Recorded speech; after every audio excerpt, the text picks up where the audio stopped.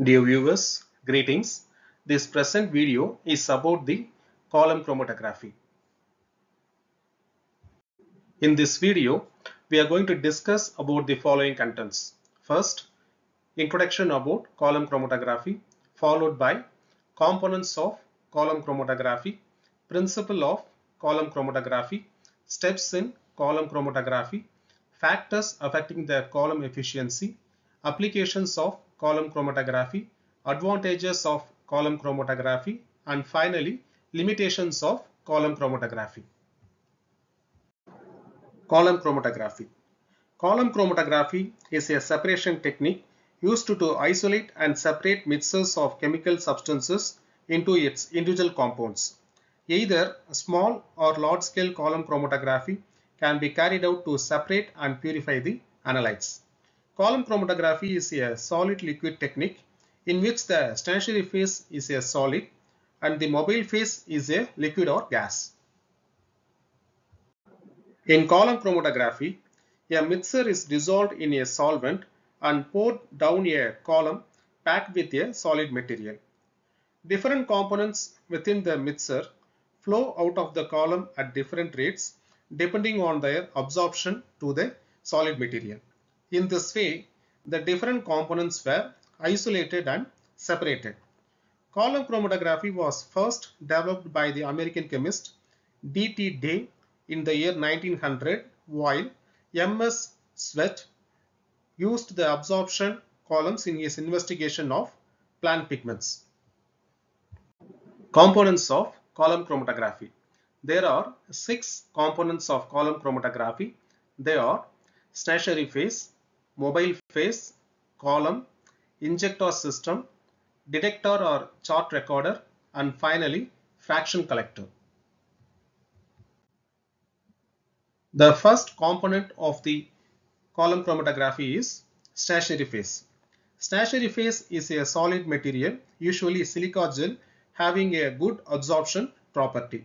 Stationary phase should be suitable for the analytes to be separate and the stationary phase should not cause any hindrance in the flow of the mobile phase. The second component of the column chromatography is mobile phase. Mobile phase is made up of solvents that complement the stationary phase.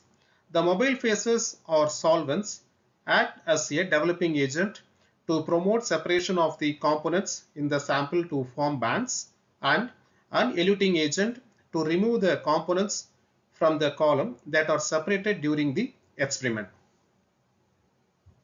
The third component of column chromatography is column. A column material and its dimension are very crucial to support the stationary phase and promote effective separations. For liquid chromatography, the column length is 2 to 50 cm long and 4 mm internal diameter and fabricated with stainless steel.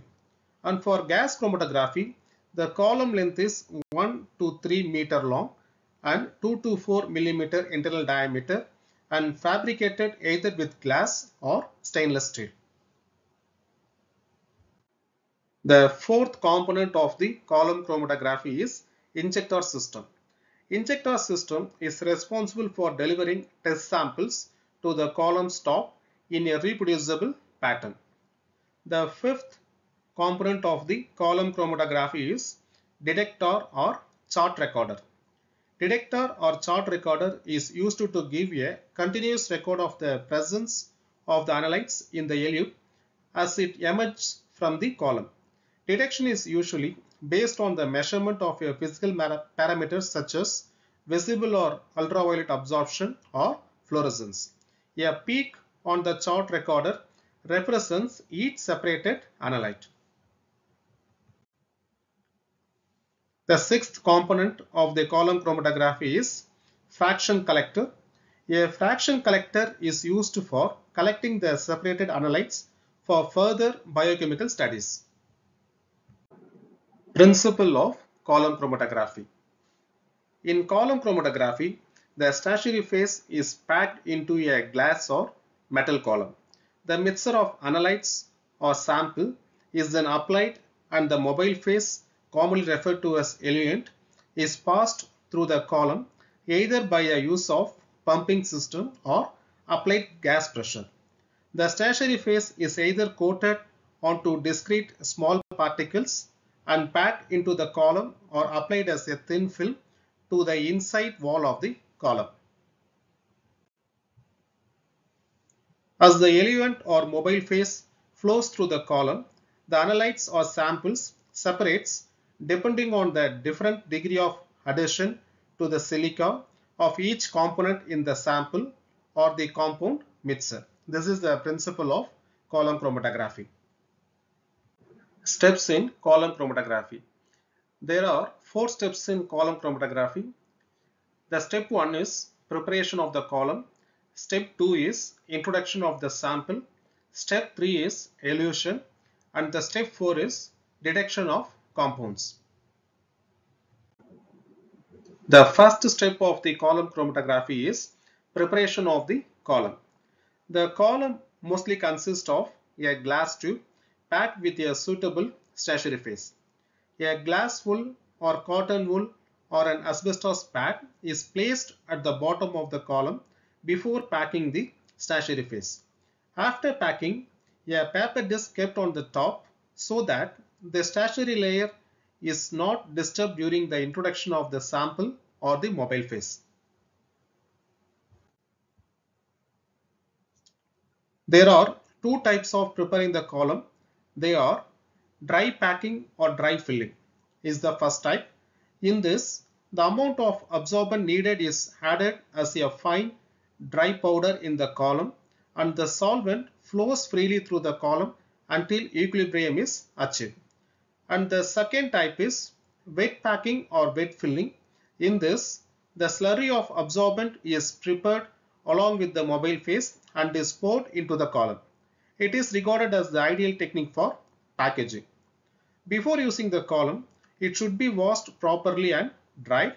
The column should be free from impurity and uniformly filled with the stationary phase.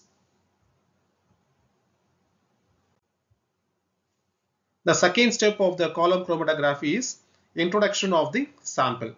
The sample which is usually a mixture of components is dissolved in minimum quantity of the mobile phase.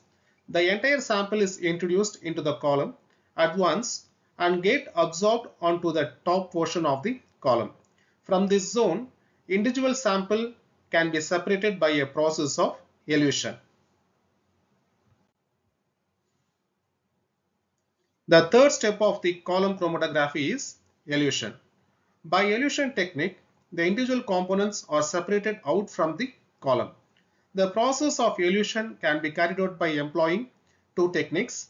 The first technique is isocratic elution technique.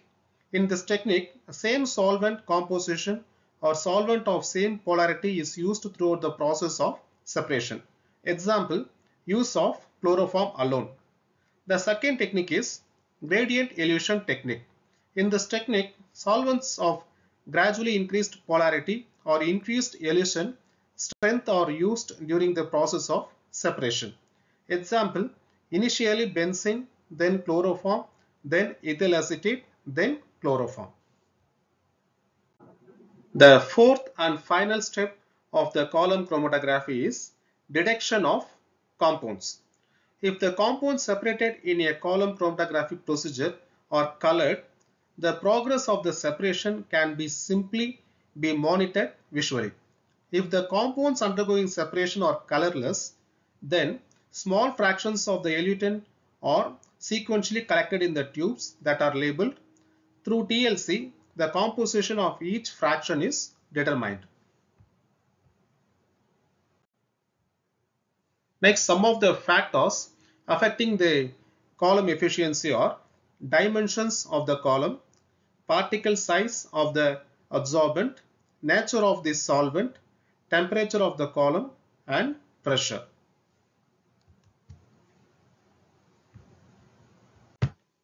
Applications of column chromatography.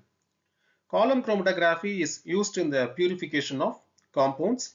Column chromatography is used in the separation of molecules for a mixture and using it in the formation of new substances. Column chromatography is used to know the drug estimate in a drug solution. Column chromatography is used for the removal of impurities or purification process. Finally, column chromatography is used for the isolation of metabolic fluids from a biological fluid. Advantages of column chromatography. Any type of mixture can be separated by column chromatography. Any quantities of the mixture can also be separated by column chromatography. Wider choice of mobile phase is used for column chromatography. In preparative type, the sample can be separated and reused using column chromatography. Finally, automation is possible in column chromatography.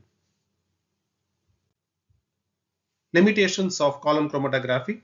There are some limitations. Column chromatography is a lengthy and time consuming method is the first limitation. The second limitation is column chromatography uses more amount of solvents that are required which may be very expensive. And the third limitation is automation makes the column chromatography technique more complicated and costly. Dear viewers, that's all about the column chromatography. Thank you for your support. Thank you.